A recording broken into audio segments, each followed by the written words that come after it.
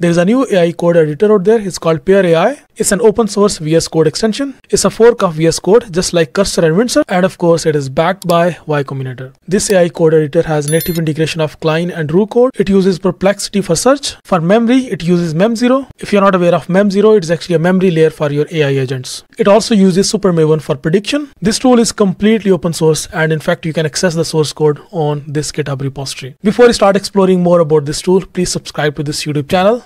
And now you can join our premium membership to support this channel. Alright, so in terms of pricing, this tool has a free tier as well that allows you to use your own API key and bring your own large language model. You can use something like Open Router and you can use any free large language model from here. You can create an API key absolutely for free and then you can actually start using that inside this tool. Or you can buy the subscription $15 per month and we'll see in a minute that is it worth paying $15 per month for this tool or should you use Cursor instead. But the main point of using this tool is it's free tier because it allows you to use your own large language model to bring your own API key. So, okay, so let's just download it and see how it works. To download this tool, you can simply just come to trypear.ai, this website, and simply just click on this download button and it will just download this tool in .exe format and install.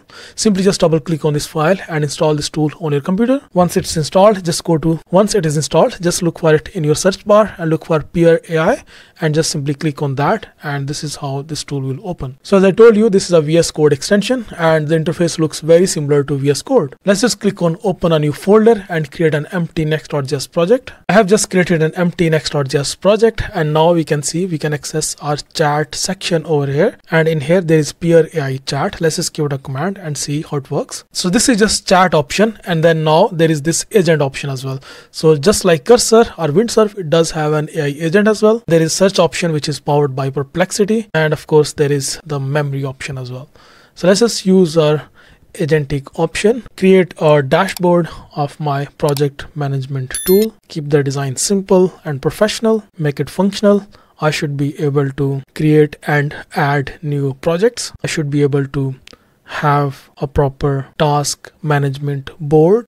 All right so let's just press enter and see how it works so as soon as I press enter, so now it is sending an API request and now it's going to create a file package-lock.json. Okay, that's fine. I'll just click on approve. All right. So by the way, because actually it is using uh, Cline as a as a AI agent, so the interface is very similar to Cline by the way, and you can see that the way the functionality is very similar to Cline. All right, so just run this command right now so the functionality I see is very similar to Cline. It is actually changing this page.tsx file. Yeah, functionality is absolutely similar to Cline. So what they have done, they have basically like took the VS Code source code and then integrated, like did the default integration of Cline and Roo code in that, then added the agentic functionality in that, then integrated perplexity in that, then added the memory functionality.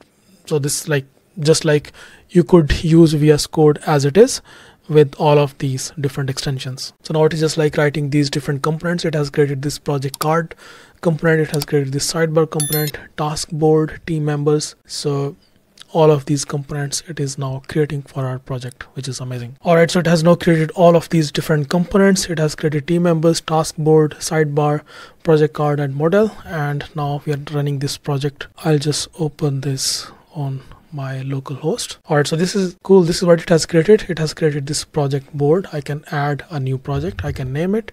I can create a new project. I can assign it to any of the team members but of course i mean we need to create that functionality. I can see all of my projects and project dashboard so yeah i mean in just like one prompt it has just created a very basic project management. But yeah that's not our main focus in this video. We just want to like test that how this tool performs. So this performs very similar to Cline so so far this task has cost 0.4 dollars which is a bit expensive because let's suppose if you're working on a project and you are like giving thousands of commands so it will cost you a lot. But yeah i mean if their subscription covers that but we should not keep that in mind. I guide you that how you can actually use this project for free. To use this tool absolutely absolutely for free. What you can do you can simply just go to Cline just like we I have created separate videos about that. You can simply just like click on Cline and then choose open router from here.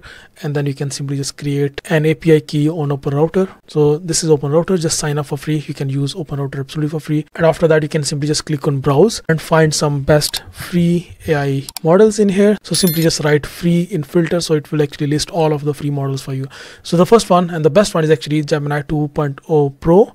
So this one is, is actually Gemini 2.0 Flash with that has 1 million context and it costs you zero dollars for input tokens and zero dollars for output tokens because this is absolutely free to use. So you can use either this one or you can use this Gemini 2.0 Pro experimental free. So again this one has 2 million context which is amazing and then it has zero it costs zero dollars per input tokens and zero dollars per output tokens. So this one is the fastest one so far. You can simply just go your api key in here. You can create an api key and then you can simply just click on this create API key button, create an API key, use that API key in here in your open router. And once you use that API key, then you can simply just choose your LLM from here. You can simply just write Gemini 2.0. You can just look for this Gemini 2.0 free and simply just you can start using that. So the functionality is very similar to Cline. So this is like they have built this VS Code fork replica of VS Code with their integrated integrated Pear AI chat and then they have integrated of course perplexity in that they have integrated the memory so that actually makes it bit more like cursor but the core functionality is Visual Studio with Cline so that's not different from that. Okay so the big question should you use this tool for free? Yeah you should use this tool for free. You can at least give it a try. Should you pay $15 for this tool? No I don't think so because I still think cursor with the same price is far far better than this tool. Cursor's agentic functionality is far better than this tool because this tool uses Cline So Cline is a free open source AI agent, but Cursor is far better than Cline So I still recommend you using Cursor. You can just like try this tool. You can use a free API key from Open Router and use it absolutely for free but I will not recommend you like paying for this tool. I mean, this is just like my honest opinion. Just give it a try yourself and then let me know about what you think about this tool. I'll see you next video. Bye bye.